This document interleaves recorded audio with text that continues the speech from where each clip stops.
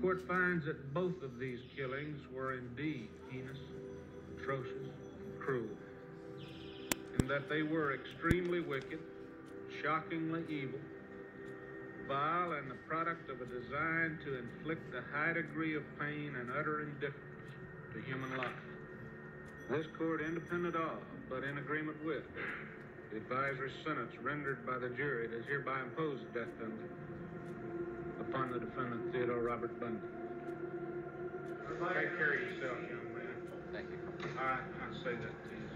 Take care of yourself. It's a tragedy for this court to see it's such a total waste, I think, of humanity that I've experienced in this court. You're a bright young man.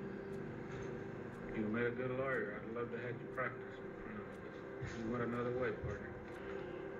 Take care of yourself. I don't have any animosity to you. I want you to know that. Court will be in recess until Saturday morning at ten o'clock. Everybody remain seated. The judge.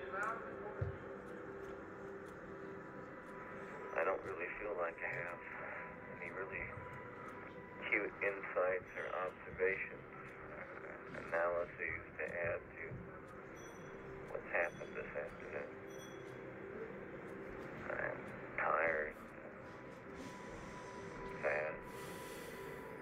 even now I am both fascinated with and angry at myself for falling into that role